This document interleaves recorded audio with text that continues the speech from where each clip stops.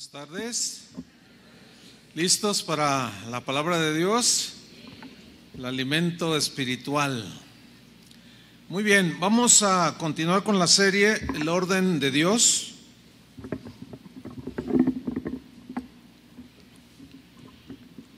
El tema de hoy lo he titulado Las bendiciones del orden y las maldiciones del desorden.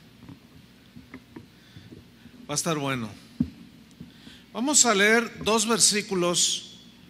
Uno está en Deuteronomio capítulo 28, versículo 2, y el otro está en el versículo 15 del mismo capítulo. Voy a leer Deuteronomio 28, 2.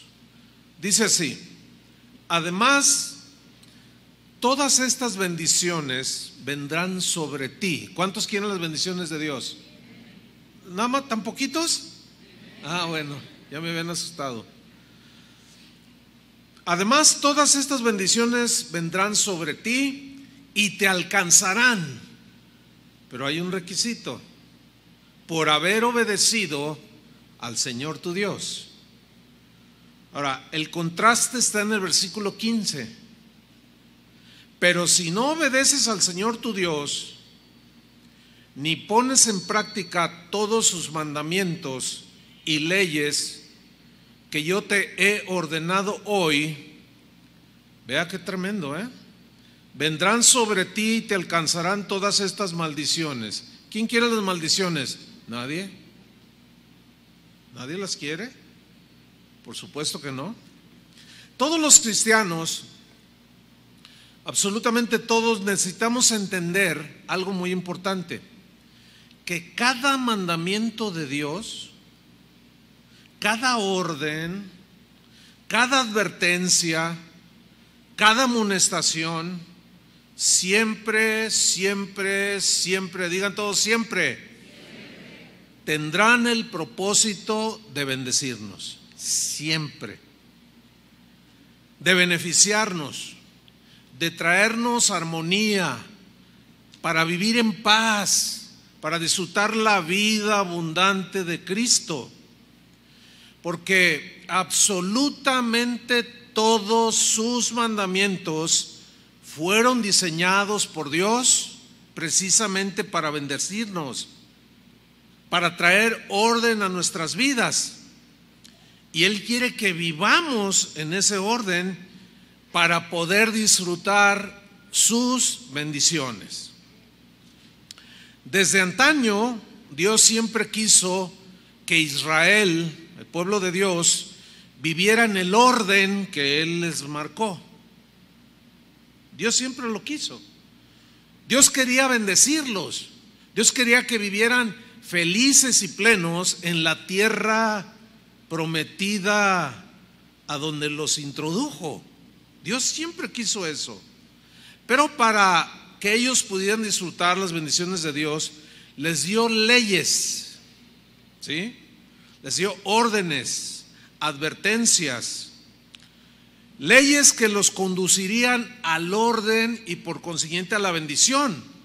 Pero el único requisito que Dios les pedía era Obedecer, digan todos obedecer. Fue el único que Dios les dijo que hicieran. Obedezcan mis leyes, les dijo. Por ejemplo, mire, si yo quiero vivir en paz, aquí hablando del, en el mundo eh, cotidiano, si yo quiero disfrutar esta vida, debo de obedecer y someterme y respetar las leyes que gobiernan, que gobiernan este país, ¿sí o no? Por ejemplo, hay leyes de tránsito. Si yo quiero, las obedezco y si no, no quiero. Y si no, no las obedezco. Si yo decido obedecerlas y guardar los estándares las, las leyes que, que el mismo Estado estableció para que haya orden, en la medida en que tú y yo las obedezcamos, es como vamos a disfrutar, conducir o menos peligro, hay menos, eh, menos ah, oportunidad de accidentarse, en fin, Nunca vas a tener problemas, nunca vas a tener problemas de multas. Nunca. ¿Y a cuántos les gustan pagar multas? A nadie. ¿Pero por qué las pagan? Porque desobedecen las leyes. Y luego después no les alcanza para darle de comer a la familia. Algo anda mal ahí. Otro ejemplo. Si yo decido respetar los bienes ajenos, jamás voy a tener problema con la ley. ¿Oyeron eso? Jamás. Nunca. Si yo decido pagar mis cuentas, las deudas que adquirí, nunca voy a tener problemas. ¿Sí o no? Al contrario, ¿verdad? ¿Mm? Otro ejemplo. Si, miren, cada segmento de la sociedad en, el que vivimos, ya sea en la escuela, el trabajo, el edificio donde vives o en el coto o en la colonia, siempre hay reglas que observar, ¿sí o no? Si tú pagas tu cuota allí, si supongamos que vives en un en, un fraccionamiento que cobra cuotas, tú nunca, va, nunca te van a poner en la lista negra, nunca te van a exhibir en la vergüenza. ¿Por qué? Pues porque tú respetas las leyes. Eso se traduce en paz. ¿Sí o no? Se traduce en armonía, en seguridad, en tranquilidad. Ahora bien, sobre las leyes terrenales que acabo de mencionar, hay muchas más, ¿no? Esas leyes que nos gobiernan aquí en la tierra, hay unas leyes que están por encima de esas leyes, que son las leyes de Dios. ¿Cierto? ¿Sabe Dios que la obediencia a su palabra trae orden a nuestras vidas? ¿Sabe Dios que el orden trae bendición a nuestras vidas? Porque Dios es un Dios de orden. Dios ama el orden, aborrece el desorden. Y aquí ya tenemos una ecuación. Obediencia a las leyes de Dios produce orden en nuestra vida. Se ordenan nuestros pensamientos, se ordenan nuestras conductas, se ordenan nuestros pasos. Obediencia produce orden. El orden produce bendición. Ahora les voy a hacer la misma pregunta del principio. ¿Cuántos quieren la bendición? Obedezca. Métase en el orden. Así de simple. No es complicado. Pero nos metemos en problemas cuando desobedecemos. La otra parte de la ecuación sería entonces, la desobediencia produce desorden en nuestra vida. Y el desorden produce maldición en nuestras vidas. Deuteronomio 28, si va abriendo ahí su Biblia, nos dice con mucha claridad las bendiciones que tú y yo podemos obtener siempre y cuando obedezcamos la palabra de Dios, las instrucciones de Dios. Siempre y cuando hagamos caso a las advertencias de Dios. La bendición ni la maldición no llega nada más porque sí. No. Ojalá fuera nada más porque yo la pido. Ay, bendíceme, bendíceme, bendíceme. Hay quien sí está orando, bendíceme, bendíceme, pero no obedece. A veces ni lo más elemental. No, la bendición o la maldición no vienen nada más porque sí. Son, son consecuencias de una conducta. ¿Me explico? De una actitud hacia Dios. Y aquí Deuteronomio 28 nos dice con claridad las bendiciones de la obediencia, pero también nos dice de manera muy cruda, muy fuerte, muy contundente las maldiciones de la desobediencia. Nadie queremos la, maldición, nadie. Pero la bendición y la maldición, escuchen bien, son cosas reales, hermanos. ¿Sí o no? Son cosas que tienen efectos reales. La bendición tiene un efecto bueno en mi vida, pero la maldición tiene un efecto pésimo en mi vida y me afecta en muchas maneras. En este capítulo de Deuteronomio 28, me llama la atención que Dios comienza mencionando las consecuencias de la, obediencia. En primer lugar, ¿por qué? Porque Dios es un Dios que se complace en bendecirnos. Entiéndanlo. Es como ustedes con sus hijos. ¿Tú qué quieres para tus hijos? Siempre lo mejor, ¿no es cierto? Siempre lo bueno. En ese sentido, Dios nuestro Padre, nuestro Padre Celestial, es semejante o nosotros somos semejantes a Él y Él es semejante en ese sentido a nosotros. Él como Padre quiere, quiere bendecirte nos quiere bendecir en todos los sentidos. Pero si no obedecemos los mandamientos de Dios, no solo quedamos destituidos de la bendición prometida por Dios, sino que nos ponemos bajo situaciones que la Biblia dice maldiciones, que abarca todo tipo de miserias en todos sentidos. Recuerden esto, hermanos, o recordemos esto todos.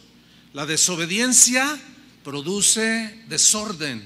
El desorden acarrea o invita la maldición, contrario a la bendición. Provoca orden y llama la bendición de Dios.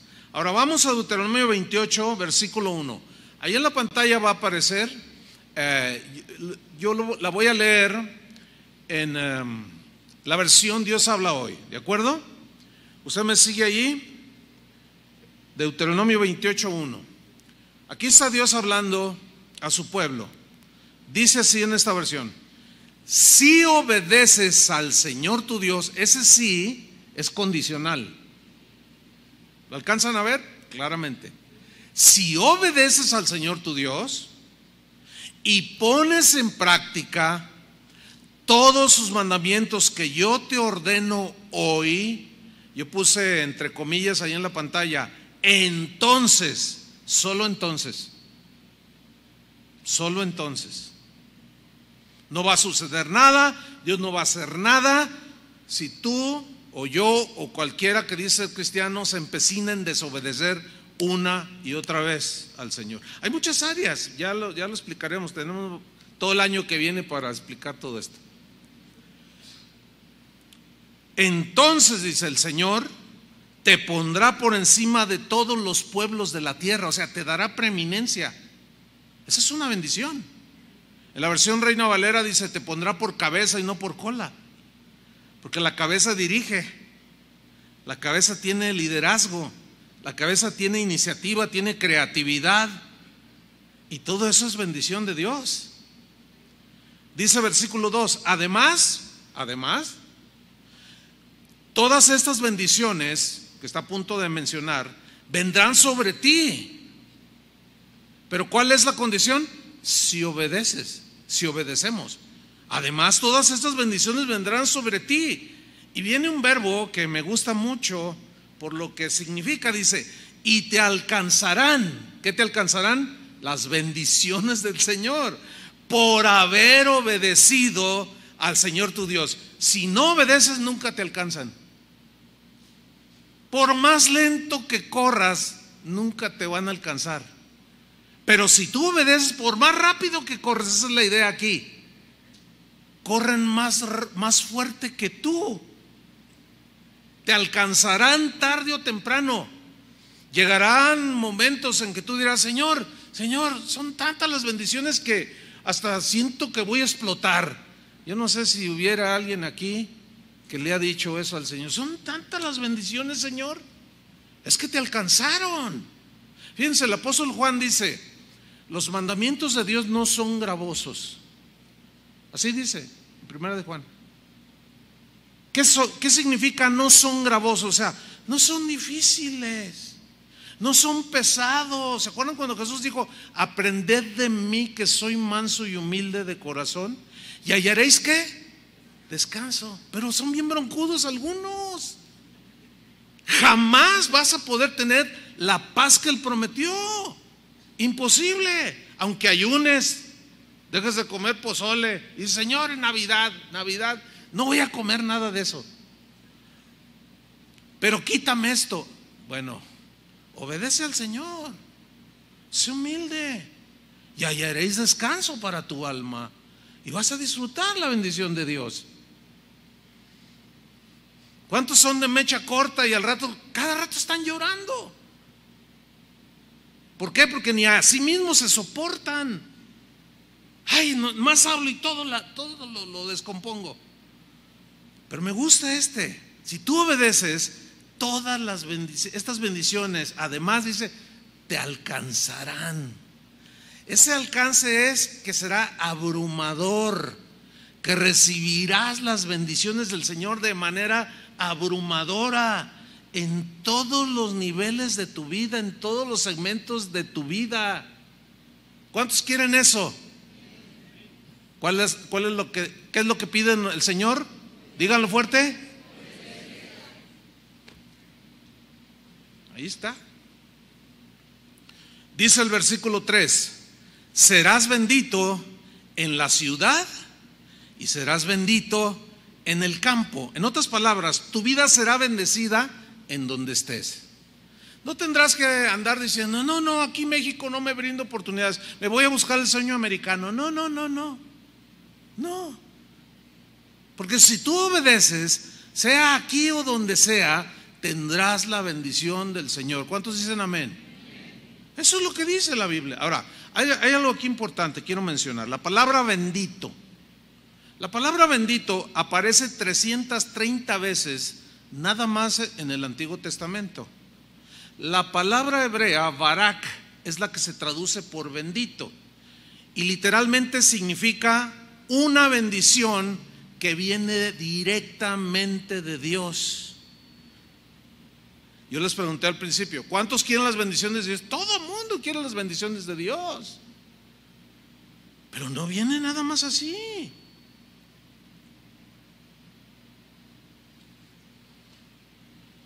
Esa palabra Barak, la primera mención está en Génesis 1.22, no tienen que buscarlo, ya lo hemos estudiado. Cuando Dios hizo a, Adán y a Eva, dice, y los bendijo Dios. O sea, Dios mismo les, dio toda la bendición. ¿Dónde los puso? En el huerto del Edén. En un entorno, pero maravilloso. Y luego sigue describiendo en el versículo 4 serán benditos tus hijos. En otras palabras, voy a bendecir a tu familia.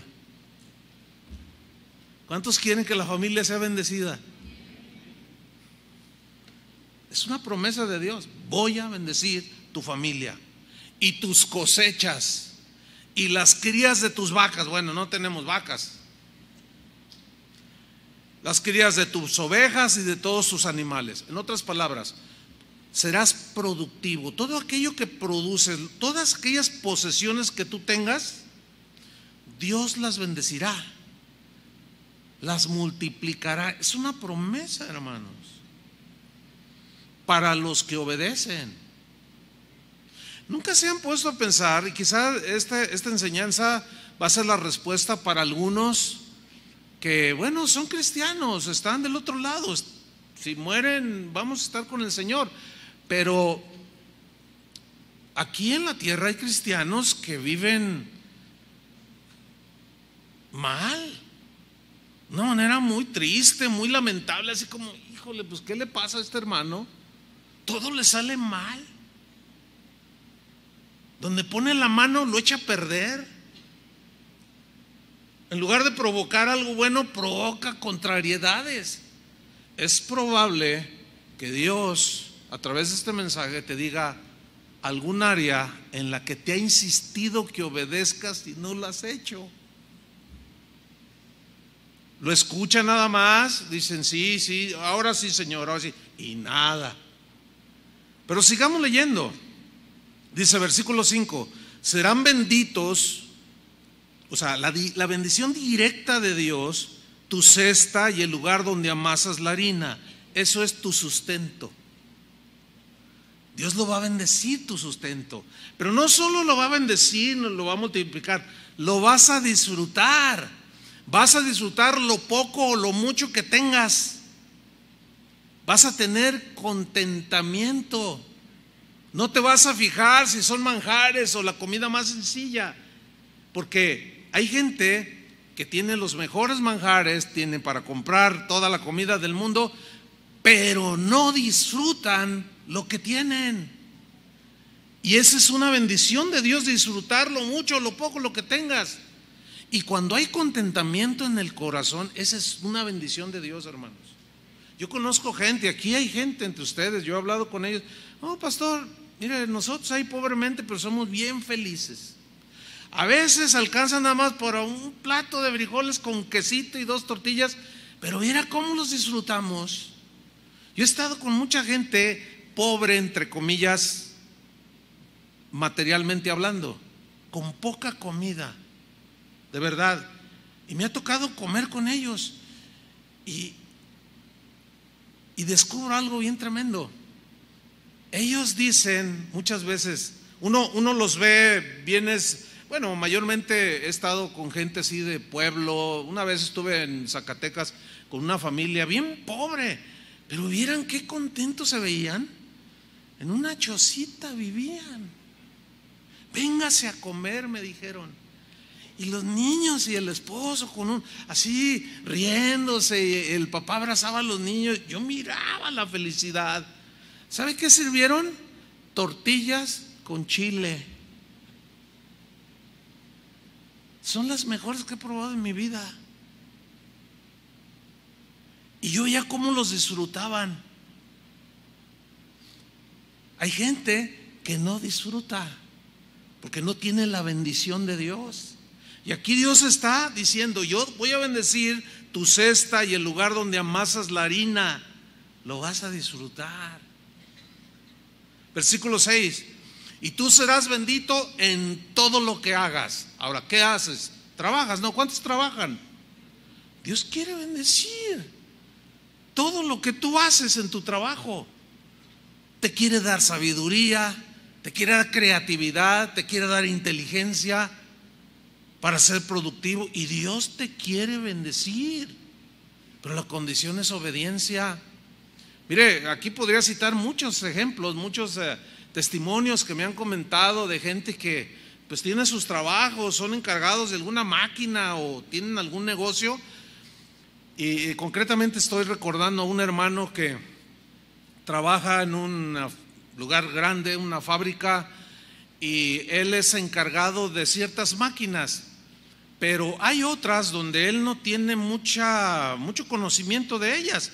Pero como es bueno en el área donde él está, una vez se descompuso una máquina que él nada que ver con ella. Y lo mandaron llamar. Ahora, este, esta persona, este hermano llega puntual, es bien trabajador, etcétera, etcétera, etcétera. Y le dicen, queremos ver si puedes arreglar esta máquina porque no hay nadie, tenemos que traer a gente de México para que la pueda arreglar. Y él dice, yo no la conozco. Dice, pero inténtale. Ok, voy a intentar. Y dice que se puso a orar y le dijo, Señor, Señor, dame sabiduría, que yo pueda arreglar esta máquina. Claro, tiene conocimientos elementales, obviamente. Y empezó a moverla, empezó a desarmarla. Encontró algo que él dijo, esta es la falla. ¿Y qué creen? Esa era la falla. Y Dios lo bendijo. Pero también conozco el otro lado de alguien. Me, acuerdo una vez estábamos en una casa, estábamos varios, ahí había una reunión esto ya hace unos años. Y la señora de la hermana de la casa donde era la reunión hizo un comentario de que el tiempo no le había alcanzado porque su lavadora se le había descompuesto. Entonces un joven en aquel entonces, ahorita ya pasaron muchos años, que por cierto, ese joven, donde mete la mano, sigue metiendo la pata. Es triste para mí decirlo, pero es rebelde, es rezongón, sigue igual después de treinta y tantos años. Entonces dice, ah, yo le arreglo la lavadora. Y la hermana le dice, no, no, no, no, no la toques, no la toques, no la toques. Y todos nos quedamos así. ¿Por qué le diría eso? Y yo pregunté, oye, no, dice que este donde toca todo desacomoda. Al correr del tiempo me di cuenta por qué. Es rebelde, rezongón, se fue de su casa, etcétera, etcétera, etcétera. Han pasado 35 años de eso y sigue igual de rebelde, de rezongón y de mal hablado. Pero dice que es cristiano. Ahora, yo no dudo que haya nacido de nuevo, pero esa no es la vida que Dios quiere que tengas. De ninguna manera. Versículo 7. El Señor pondrá en tus manos a tus enemigos cuando te ataquen. Avanzarán contra ti, mira, en forma ordenada, así como ejército para destruirte, pero huirán de ti en completo desorden. ¿Qué es esto? La protección de Dios. Mía es la venganza, dice el Señor, déjamelo a mí. Ah, no, a mí el que me la hace me la paga. Ándale pues, el que te la hace, pues que te la pague. Sigue con tus amarguras. Sigue, no, pero es que me hizo eso. Ok, nada más no puedes reclamar las bendiciones de Dios. Yo siempre les he dicho, y se los vuelvo a repetir, no se peleen con nadie y mucho menos en Facebook. Se los he dicho, ¿sí o no? Ustedes jamás van a escuchar una controversia mía, ni siquiera de defenderme. No, no, no, no. A mí yo tengo quien me defienda. Pueden decir lo que les dé su gana. No me interesa ni me importa. A mí lo que me importa es lo que Dios piensa de mí. Lo que piensan los demás pues es, es, secundario, no me interesa. Y mucho menos me voy a, a a ofender y mucho menos me voy a vengar. Así ha sido toda mi vida.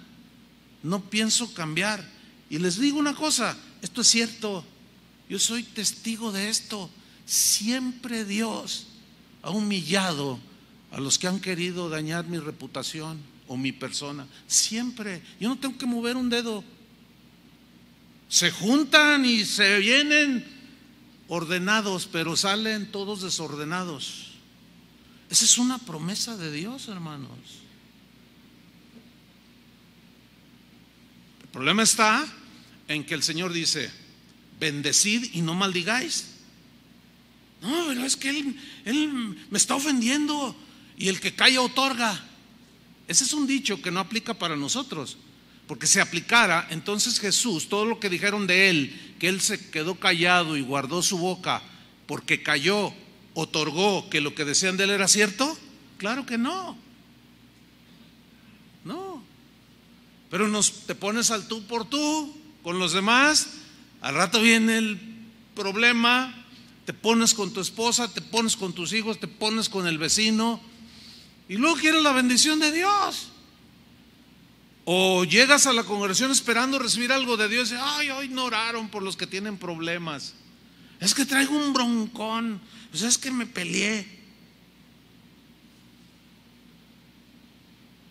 ¿Ven? Nosotros somos los culpables de nuestras desobediencias, ¿sí o no? Acuérdense del mensaje de hace ocho días, tenemos que asumir cada uno la responsabilidad de nuestras acciones, de nuestras decisiones y desaparecer de nuestra vida el síndrome de Adán, que era echarle la culpa a otros, a otros, a otros. Ya tienen que pararle algunos. Dejar de estar echándole la culpa a otros y asumir que tú tomaste esa decisión, que tú fuiste lo que tomaste que no era tuyo, que tú mentiste, que tú, qué sé yo. Porque aquí es donde viene el, cambio.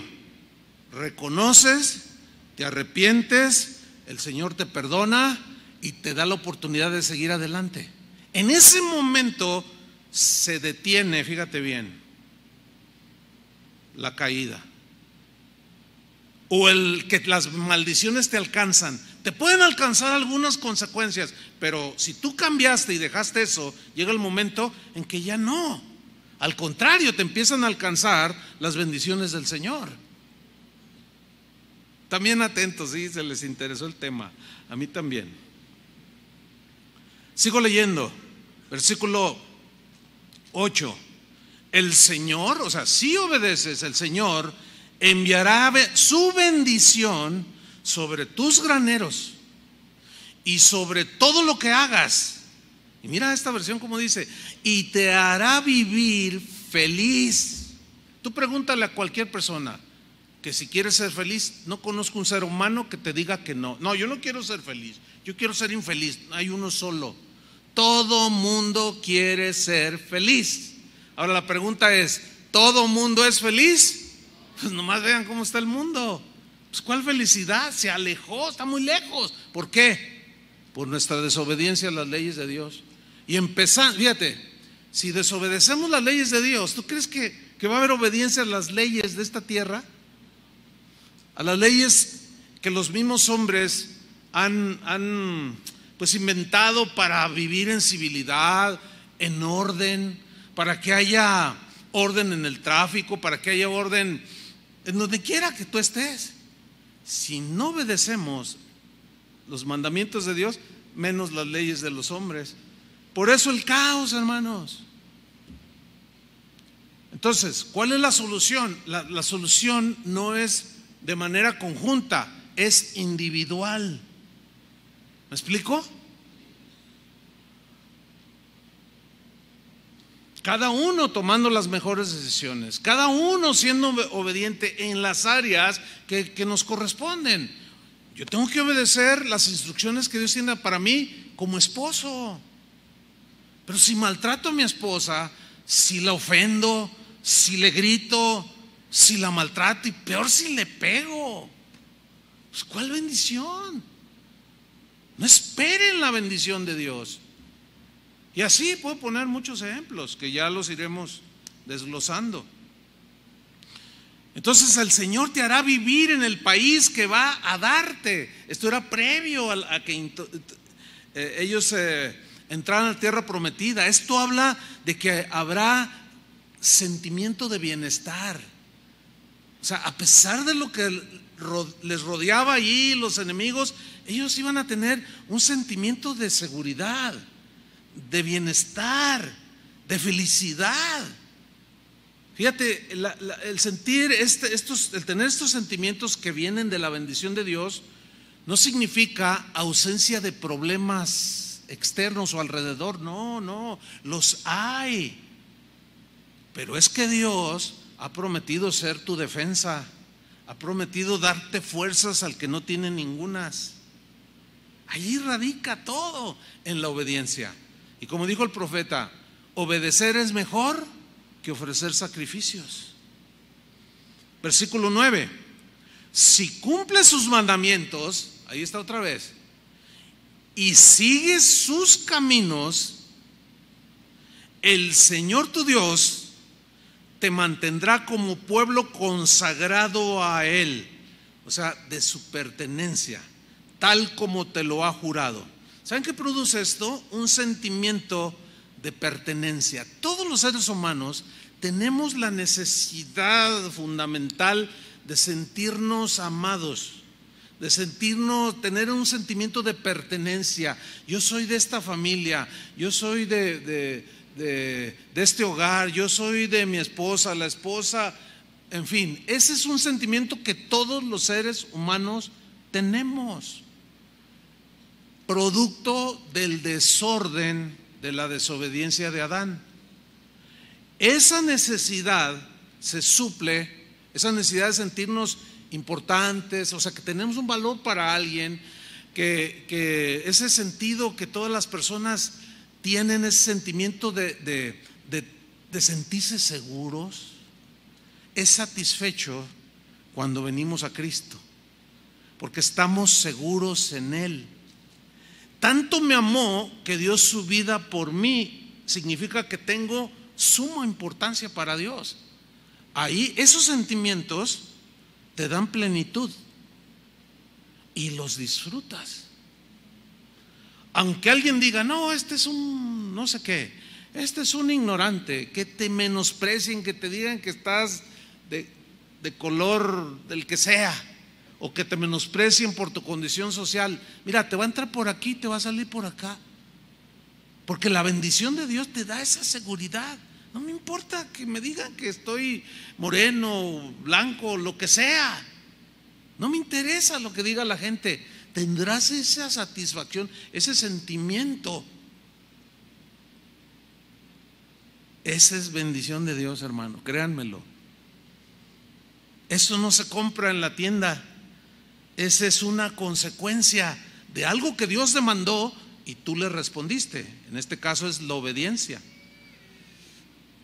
Versículo 10 dice, entonces todos los pueblos de la tierra verán que sobre ti se invoca el nombre del Señor y te tendrán miedo. Una mejor traducción es, tendrán respeto por ti. Te respetarán.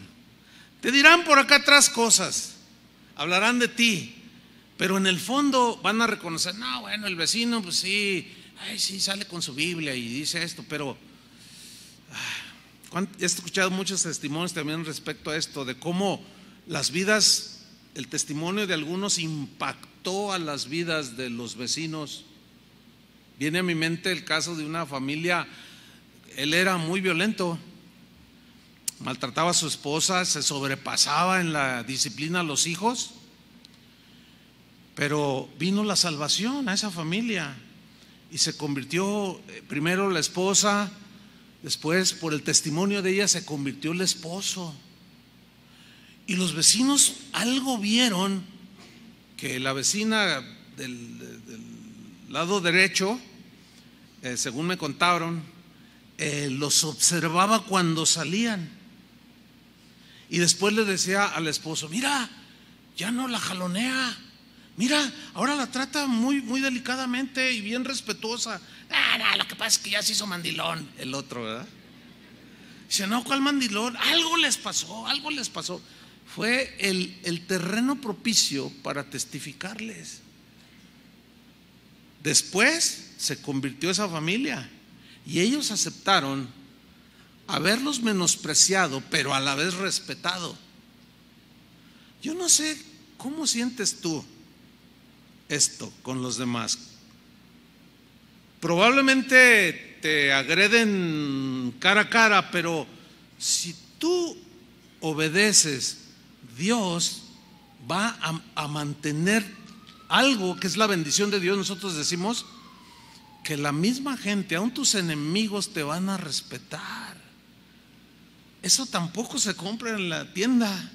Es una bendición del Señor. Dice en el versículo 11, el Señor, el Señor te mostrará su bondad dándote muchos hijos, muchas crías de tus ganados y abundantes cosechas en la tierra que a tus antepasados juró que te daría. Otra vez habla de que vas a tener abundancia de bendiciones que Dios te dará si le obedeces. Versículo, versículo 12 y te abrirá su rico tesoro el Señor. Piensa en un tesoro. Cuando pensamos en un tesoro, eh, pensamos en riqueza, ¿sí? Bueno, aquí son literales, también son espirituales, vamos a hablar un poquito más de eso, pero aquí se refiere a la bendición de Dios. Te abrirá su rico tesoro, que es el cielo, cielo abierto. ¿Sí? Para darle a, tu tierra la lluvia que necesite. La lluvia siempre es bendición, siempre, siempre, siempre. Nosotros tenemos unos conceptos distorsionados de la lluvia porque, por ejemplo, en una ciudad, pues obstruimos los cauces de los ríos, metemos cemento, cae un inusual volumen de agua y se inunda y se ahogó y dicen, ay, ¿por qué Dios permite? No, no, no, nosotros causamos eso. ¿Sí o no? Muchas veces es la imprudencia en los pueblos. Gente ha muerto por imprudencia. Hace no mucho, bueno, hace algunos años en Monterrey, ahí en lo que es el río, eh, que, un río este, que en años atrás llevaba mucho caudal, pero se secó entre comillas, y la gente empezó a construir en el, causa del río. Y las autoridades decían, no construyan allí, no construyan. Y ellos, pues gente que apropiándose, y había muchas construcciones. Un día cayó una lluvia inusual y arrastró mucha gente y murió mucha gente. Y hace no sé cuántos, unos 15 años de esto, no, pero fue una tragedia, todo. ¿Quién lo provocó? Nosotros mismos. Y luego algunos se enojan contra Dios. Dice en el versículo 12, sigo allí, te abrirá su rico tesoro, que es el cielo, para darle a tu tierra la lluvia que necesite y hará prosperar todo tu trabajo. ¿Cuántos quieren esto? Bueno, ya sabes lo que tienes que hacer. Mira esto, podrás prestar, habla de dinero, a muchas naciones, pero tú no tendrás que pedir prestado a nadie. A ver, pregunta de examen. ¿Qué es mejor, pedir prestado o prestar? Prestar. ¿Por qué? Porque si prestas es porque te sobra más allá de tus necesidades, ¿no? Y esa es la bendición del Señor.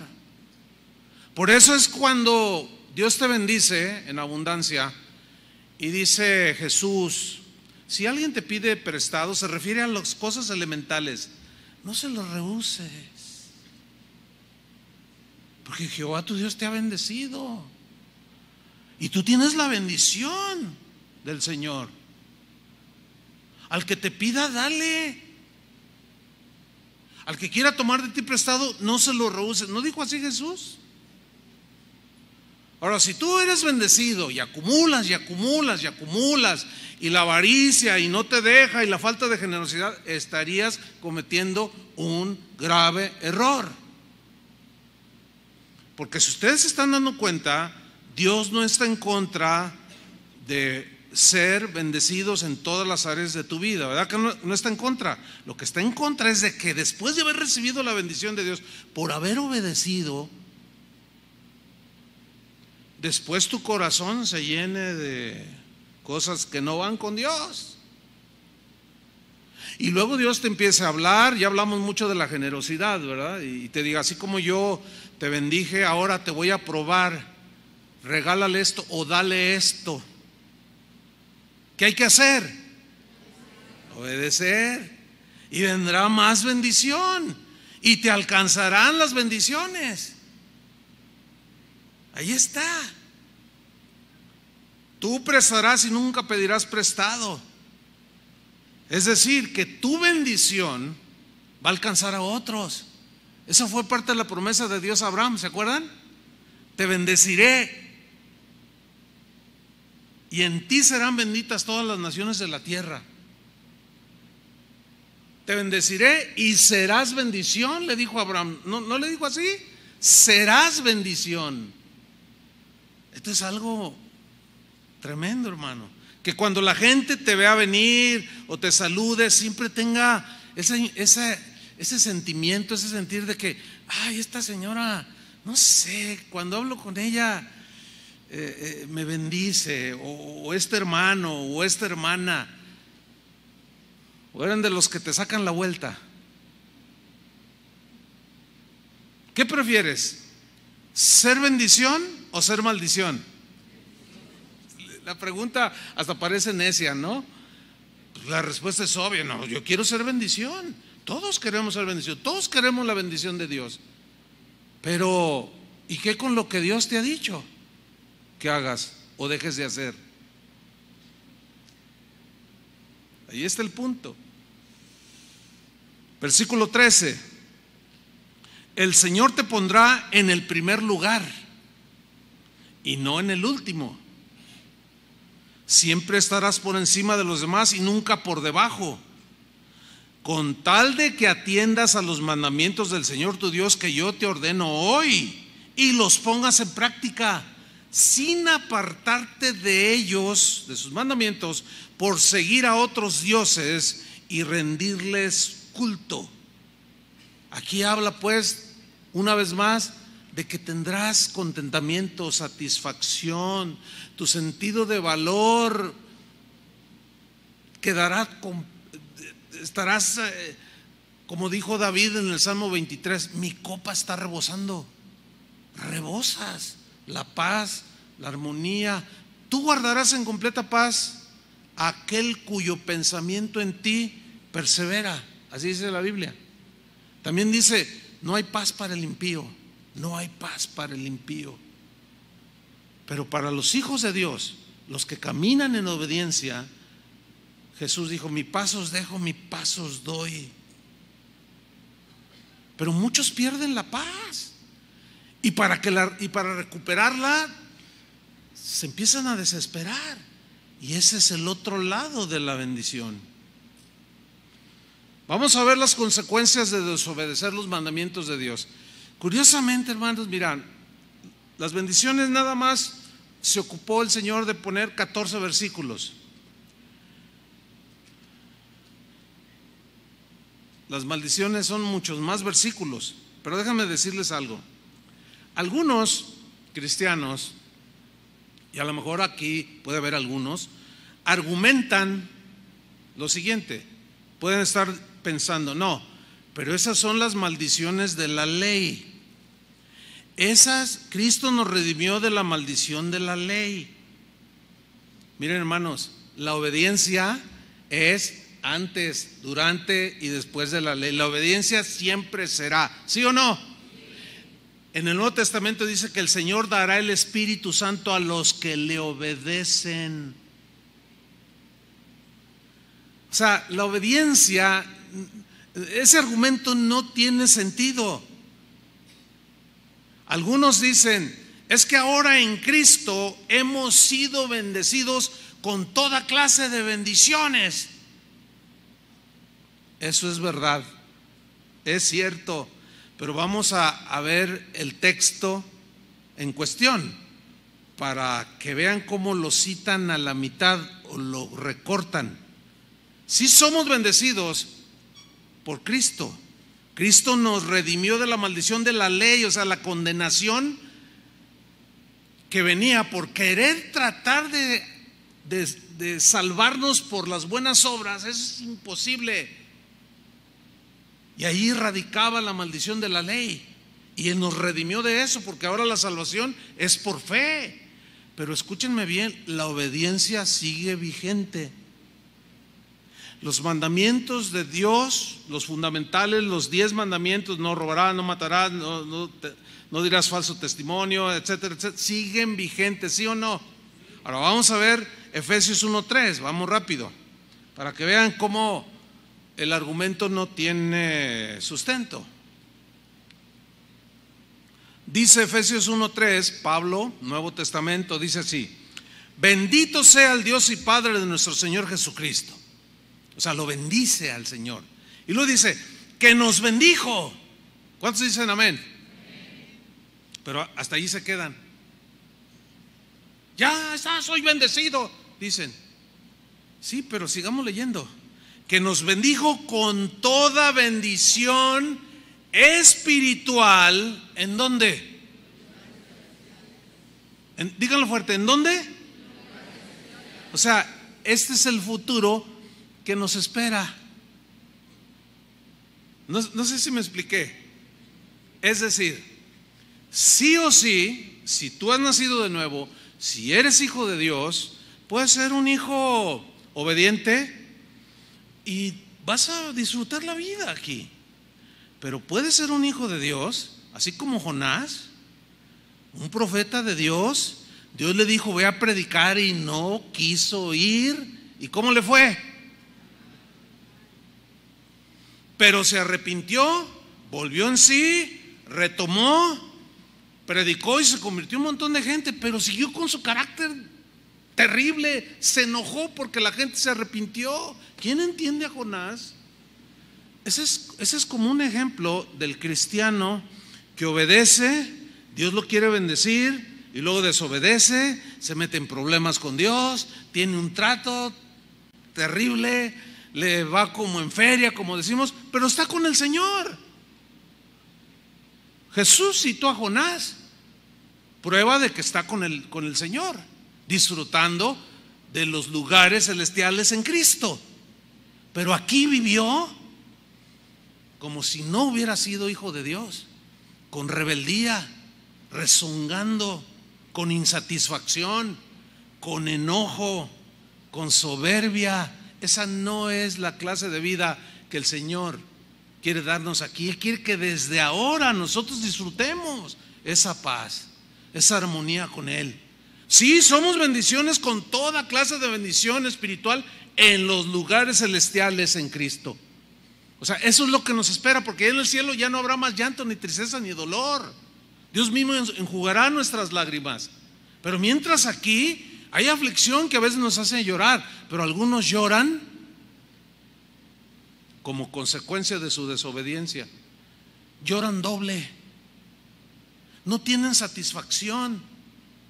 Y eso no es lo que Dios quiere para nosotros. No hay otra explicación que podamos dar acerca de, del por qué Pablo, estando en la cárcel, escribió las cartas que escribió. Una de ellas fue la carta a los filipenses. Estaba en la cárcel y les dijo, regocijaos en el Señor, siempre os digo, regocijaos, ser agradecidos. Den gracias en todo porque esta es la voluntad de Dios para con vosotros. Tengan contentamiento. Tú dices, pues ¿de, qué planeta bajó el apóstol Pablo? Pues es que él, vivía aquí una vida de obediencia. Él dijo, y, no queriendo ser rebelde a la visión celestial de cuando Jesús se le apareció y lo llamó para servirle. Y no fui rebelde, dijo, a la visión celestial de servir al Señor. Y obedeció. Y fue un ejemplo de obediencia. ¿No se dan cuenta a grandes rasgos cómo en medio de tanta tribulación él tenía paz? Tenía contentamiento. Tenía tristezas, pero el Señor lo consolaba. Llenaba todo su corazón. La bendición de Dios. En síntesis, Dios quiere que desde el momento en que tú recibiste a Cristo, entrarse en el orden que Él estableció. Su palabra ordena nuestros pasos. El rey David decía, Señor, ordena mis pasos. Porque mis pasos son desordenados. Ordénalos tú, Señor. Y luego añadió, con tu palabra. Jesús dijo de, de la palabra de Dios, tu palabra es la verdad. Ella ordena mis pasos, ordena nuestros pasos. Tú puedes estar viviendo, escúchame bien, un pedacito del cielo en esta tierra, a pesar de que es infernal esta tierra, con un montón de injusticia, con un montón de maldad. En medio de de todo eso, tú puedes tener la paz de Dios, la satisfacción de Dios, la seguridad de Dios. Y eso es la bendición de la, de la obediencia a Dios. ¿Están comprendiendo el mensaje, hermanos? No tienes por qué seguir en ese caos. Algunos ya hasta piensan en el divorcio. Háganme ustedes el santísimo favor. No puede ser. ¿Todo por qué? Porque te montas en tu macho y ella es la culpable. Él es el culpable. Y no son capaces de humillarse, reconocer cada quien su culpa pedirse perdón y seguir adelante. Por cierto, ese va a ser el, el tema para el Congreso de Matrimonios del próximo año, en febrero. 70 veces 7. Ese es uno de los grandes principios para sacar adelante, en este caso, un, un matrimonio, una familia, el perdón. Pero ahí están todos amargados, donde ya no puedo estar con ella, una vez les conté de, una muchacha que yo mismo los casé y como a los seis meses, no, ya no lo quiero y me quiero divorciar. Oye, no, no, ¿cómo estás hablando de divorcios? Ni un año han cumplido. A ver, ¿por qué quieres hacer eso? Es que le huelen los pies. hágame usted el favor. Yo volteé y le dije, pues lávatelos, échate talco o algo y tú no seas tan exagerada, le digo. ¿Te imaginas? No puede no, no, que es ridículo, ¿no es cierto? Y, ahora sí que como Kiko, me desesperan. Es que no puede ser. Bueno, con tristeza debo decirle, terminaron divorciados, ¿eh? Incapaces totalmente los dos de soportarse, de perdonarse. ¿De qué se trata entonces? Y luego se amargan contra Dios. Y, termina uno a veces siendo el malo. No, pues es que no me visitó. Como si mi visita tuviera que ver con tu desobediencia. No, no, así no funciona, hermanos. Miren, el mismo versículo Efesios 1.3, en la versión del lenguaje actual. Bendito sea Dios, Padre de Cristo Jesús nuestro Señor, que nos ha bendecido en el cielo. Aquí está más claro ¿En dónde nos ha bendecido?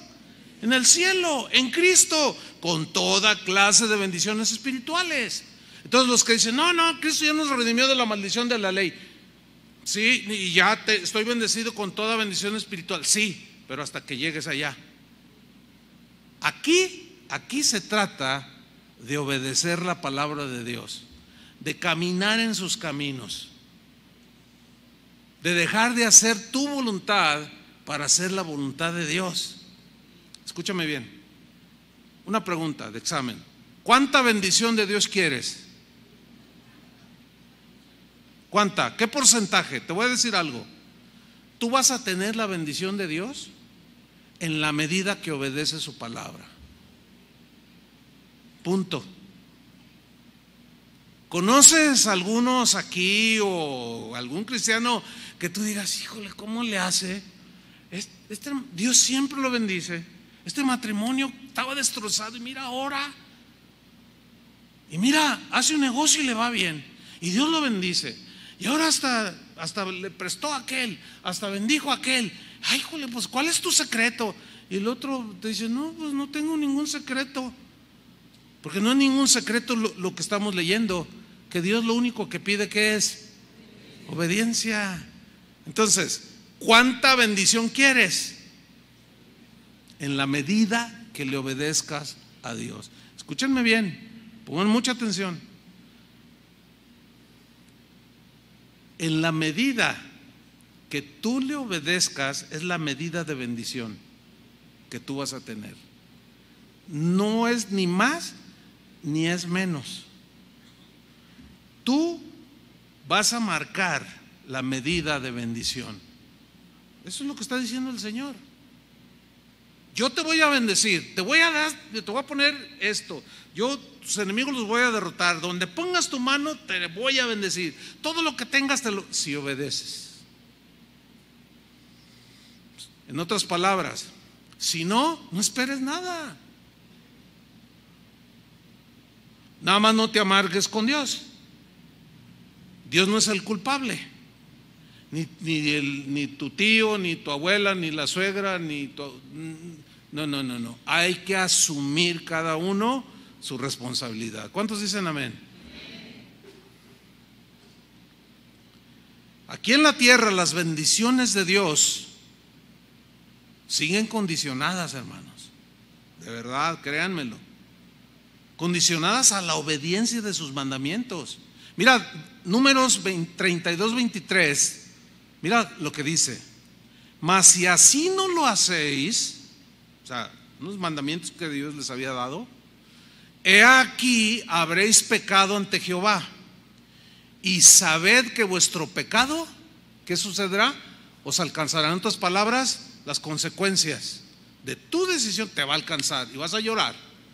Y vas a enfrentar un montón de situaciones ¿Se acuerdan lo que Dios le dijo a Adán? Por tu culpa la tierra será maldita. Te va a costar trabajo sacar el pan de la tierra. Y tu mujer, te va a doler tener hijos. O sea, consecuencias que ni Dios quita. Por eso hay que pensarnos la mejor. Y decide obedecer. Quebrante ese orgullo. Eso que te impide y, decide. Porque escúchenme bien, es una decisión la obediencia, ¿sí o no? No estamos programados para obedecer ni para desobedecer. Nosotros buscamos. Y, si tú eres amargado, estás amargado porque así quieres vivir.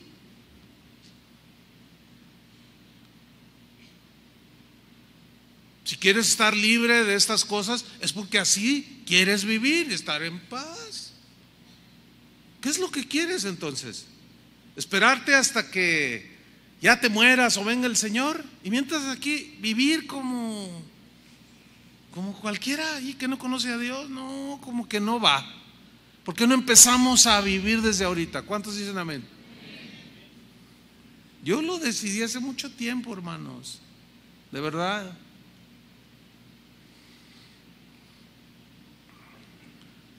Pero vamos a Deuteronomio 28, en el versículo 15, vamos a ver las, algunas consecuencias de la desobediencia.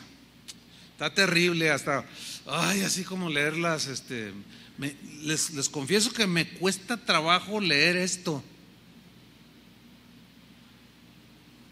pero lo voy a hacer.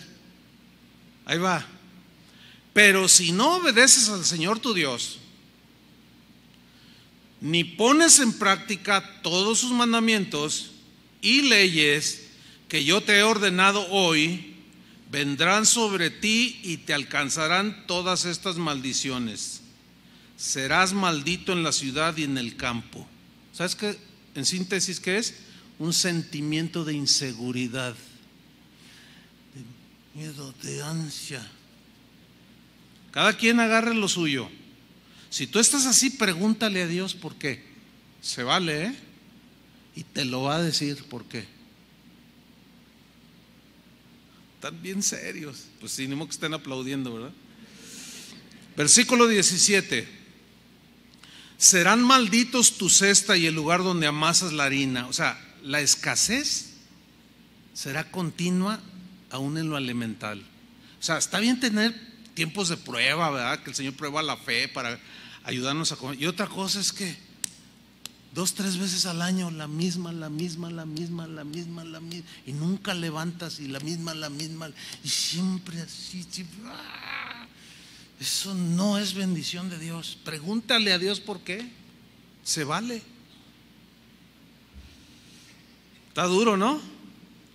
Versículo 18. Este está bien fuerte.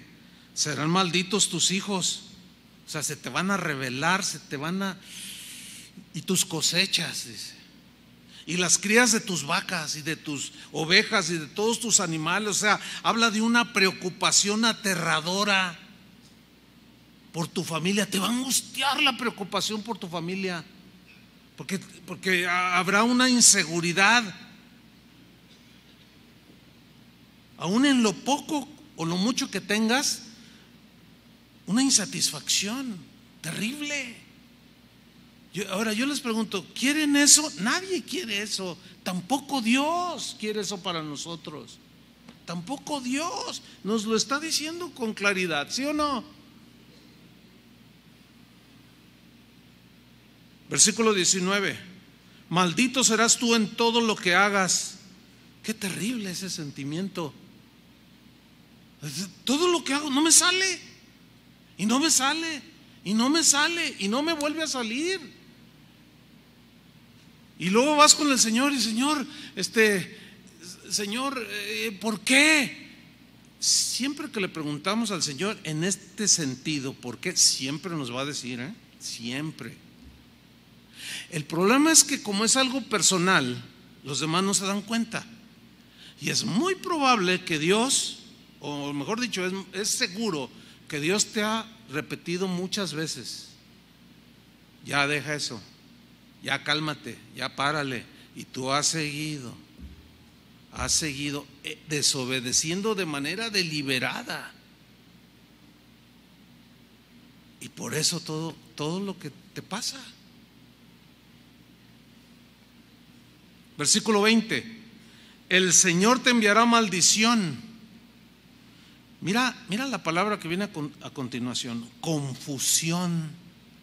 ¿Sabes que la palabra hebrea se puede traducir también por desorden? Familia desordenada, desordenado en tus horarios, comes de manera desordenada. todo sin disciplina de ningún tipo, sin orden de nada. Vives así nada más. Híjole, es terrible eso, hermanos, créanmelo. Caos también se puede, se puede traducir, confusión. Y angustia. Esa palabra se puede traducir también por zozobra, ansias en todo lo que haga. No, yo no quiero esto, hermano. ¿Ustedes lo, quieren eso? Pues manos a la obra, ¿no? De verdad.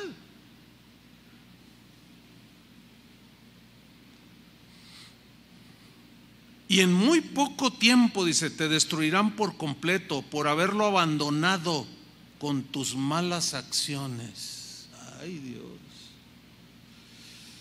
Yo creo que no hay pasaje más eh, aterrador que este en la Biblia. Habla de un total desorden, un caos total como consecuencia de la desobediencia. No, queridos hermanos, esto no es lo que Dios tiene planeado para nosotros. Hay iglesias así completas que son un caos total, hermano. Un desorden total. No hay el mínimo sentido. Es trágico eso, hermanos. Versículo 21, el Señor te enviará una peste que acabará contigo en el país que vas a ocupar también te enviará epidemias mortales, fiebres malignas, inflamaciones, calor sofocante, sequía y plagas sobre tus trigales, epidemias que te perseguirán hasta destruirte. Me quedo sin palabras, hermano. Versículo 23. Allá arriba dice, el cielo te negará su lluvia. Y aquí abajo la tierra te negará sus frutos. El Señor hará caer sobre ti polvo y arena en vez de lluvia hasta que seas destruido. Miren hermanos, les voy a decir esto con mucho, mucho temor. En mis más de 40 años sirviendo al Señor, he visto un montón de cristianos terminar así. No saben ustedes cómo duele verlos en la ruina total, pero no fue gratuita. No vino nada más Dios diciendo, te maldigo. No, no, no, no, no. Analizo sus situaciones, sus reacciones, sus acciones, sus pensamientos. Dice, no, pues es que este hermano, esa rebeldía nunca se le quitó. Siempre rezongaba, le reclamaba a Dios. No, no, hermanos, esto está para para no dormir durante toda la noche. ¿Sí o no? Mira, si después de esta no reaccionas, ya, ahora sí que ni el chavo del 8 te puede ayudar, menos. No, es en serio. Si después de esto no reaccionas, sigues igual, bueno, muchos Ojalá y nunca se dé, pero serán testigos de esto. Y dirán, ¿te acuerdas de fulano? Terminó mal, mal. Quizás esté con el Señor, lo más seguro es que sí, porque la salvación es por fe. Pero qué vida tan terrible, como cualquier animal callejero allí, que no tiene dueño. Triste, triste. Versículo 26, las aves y las fieras devorarán tu cadáver sin que nadie las espante. Habla de muerte trágica, olvido de tu persona. Miren, el otro día hubo un caso que tratamos en una de las casas de oración. Murió el, esposo de una hermana, de una señora, con años asistiendo a una iglesia, a una casa de oración. ¿Y sabes qué dijo la señora? Dice, mire, miren pastores, les voy a hacer sincero, no lo extraño para nada. Para mí fue una bendición que se haya muerto mi esposo. ¿Y sabes, sabes qué le dijimos nosotros? Nada. Hermanos, nos quedamos así. no, pues disfrute. ¿Sabes por qué? Porque era un patán el hermano. Era, nunca entendió. horrible. Ya resulta que no. Y de esto hará unos dos meses y hace poquito ahí mandó ahí un mensajito. Estoy bien feliz. Híjole, pobre cuate. O sea, su memoria, cero con su memoria. Y por cierto, no murió así con la Biblia abrazada allí. Y de repente su corazón dejó de latir. No, se murió bien feo. Y no quiero decir ni cómo. ¿Se acuerdan cómo se murió Zafira y Ananías? 27. Ya quisiera terminar. El Señor te hará sufrir con llagas como los egipcios y con tumores, sarna y tiña, y no podrás curarte de estas enfermedades. Pero miren el versículo 28, también te hará padecer locura, ceguera y confusión. La locura, la confusión se refiere a afectaciones de tipo mental. No sé si ustedes se han dado cuenta que en los últimos años se ha disparado el Alzheimer. No siempre es por cuestión espiritual. Hay, es, como seres humanos que nos vamos deteriorando, se va descomponiendo, pero créanmelo hermanos, hay muchos que es consecuencia de su desobediencia. En la actualidad yo conozco hermanos que en un tiempo fueron una bendición, caminaron con Dios, de pronto algo les pasó. Y hoy ya hasta les falla el cerebro. Ya no les carbura acá arriba. Dicen una cosa y a la vez están contradiciendo. ¿Qué estás diciendo? Ah, lo que pasa es que usted no me entiende. No, es que estás bien confuso. Y luego la esposa, Pastor, ¿sabe qué? Últimamente, ¿quién sabe qué le pasa? Como que se está volviendo loco. Y luego a veces en las noches se despierta sobresaltado. ¡Ay, ay, ay, ay, ay, ay! Y luego, ay, ¿qué tienes que.? Me están siguiendo. ¿Quién te está siguiendo? No te está siguiendo nadie. Hermanos, se tienen que echar sus pastillitas para dormir. No me digan que esa es la voluntad de Dios.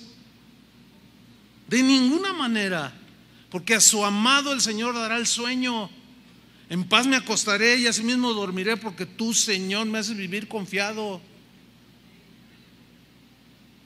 Todos esos trastornos, muchos, no quiero generalizar, pero hay muchos de los trastornos mentales de mucha gente de hoy, incluyendo cristianos, es por la maldición de la desobediencia, hermanos. Más claro aquí no puede estar. Versículo 29, y andarás a tientas como el ciego en la oscuridad. Nada de lo que hagas te saldrá bien. Te verás siempre oprimido y explotado y nadie vendrá en tu ayuda. Te comprometerás para casarte, pero otro se acostará con tu prometida. Híjole. Te construirás una casa, pero no llegarás a habitarla. Plantarás un viñedo, pero no disfrutarás de sus frutos planes no concretados, nunca los llegó a ver.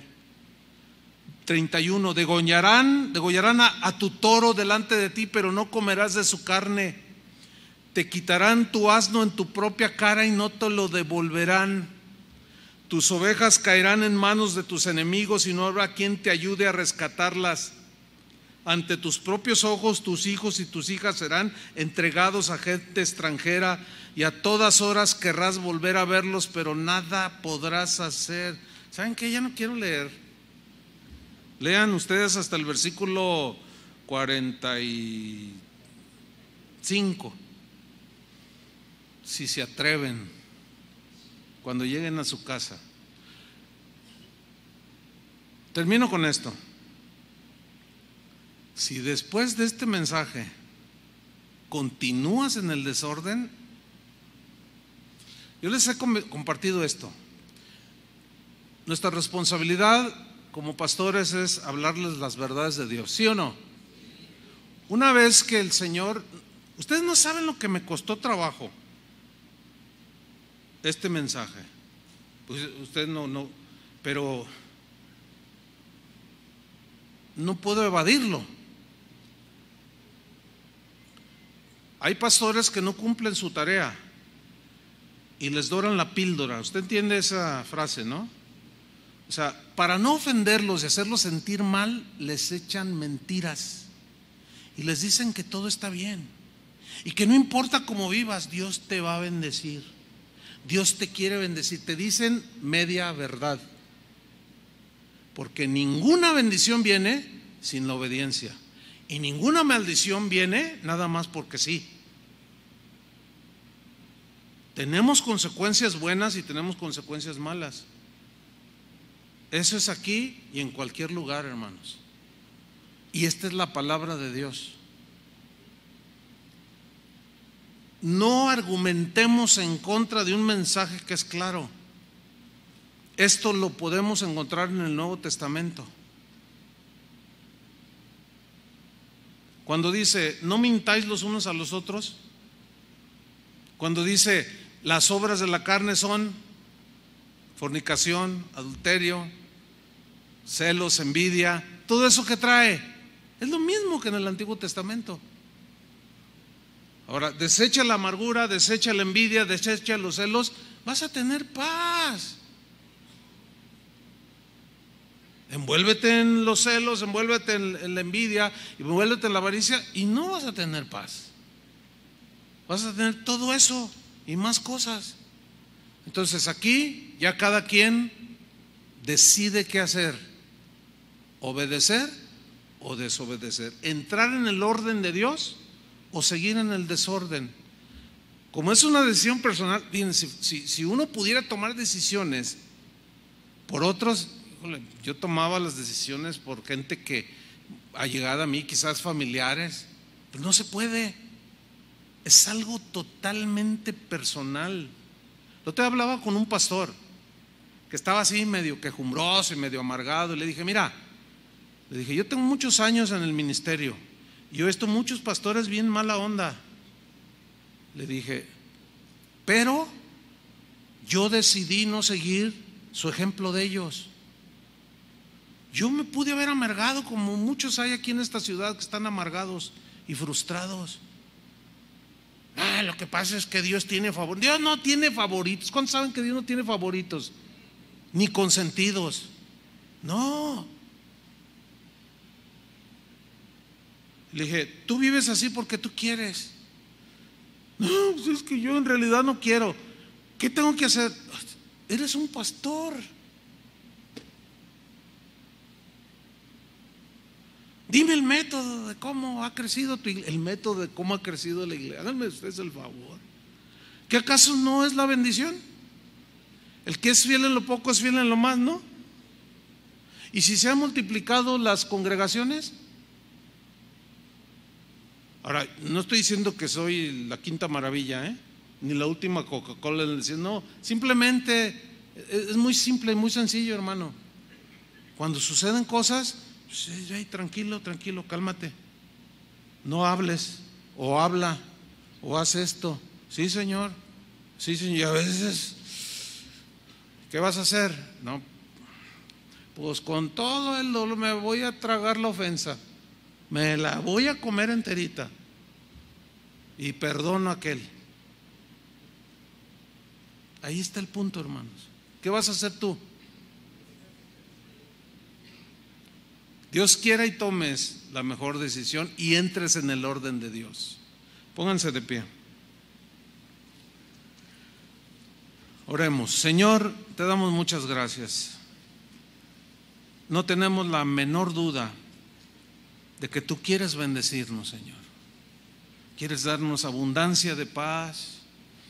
Quieres traer seguridad al corazón, tranquilidad, paz, armonía, sentimiento, aunque haya escasez, un sentimiento de satisfacción, de contentamiento. Esas son las bendiciones para esta vida. Entre tanto recibimos las que nos esperan en el cielo. Pero no es tu voluntad que vivamos en esta tierra viviendo como perros y gatos o como animalitos sin dueño. Señor, que tu misericordia se extienda sobre nosotros y nos des claridad de mente para tomar las mejores decisiones. Tú quieres bendecir a tu pueblo, Señor, a tus hijos. No tenemos la menor duda. Tú mismo lo has dicho. Pero es condicional a obedecer. Porque es imposible que en tu santidad y justicia nos bendigas si no te obedecemos. No, no, no, no existe ese concepto. Algunos quizá pueden decir, sí, pero por, por, por gracia, sí, sí, sí. Nos das algo que no merecemos. Eso, ese, el mayor regalo que recibimos allí sin merecerlo fue la salvación. Pero oímos tu palabra. Y en ese sentido de la salvación, cuando nos llamaste a través del mensaje de la predicación, o como decía Pablo, de la locura de la predicación, tomamos una decisión de seguirte, Señor. Y ahí se aplicó la gracia. Pero empezamos a vivir la vida cristiana y nos volvemos anquilosados, como que nos vamos oxidando. Cosas pasan, Señor. Y dejamos, perdemos la paz, perdemos muchas cosas, la sensibilidad. Y nos vamos por otros caminos, Señor. Ten misericordia de nosotros, Señor y ayúdanos, ayúdanos, porque sin duda tú quieres bendecirnos. Bendice a tu pueblo, Señor, si obedecemos. En el nombre de Cristo Jesús, te damos las gracias por tu palabra, Señor. Amén. Que Dios los bendiga.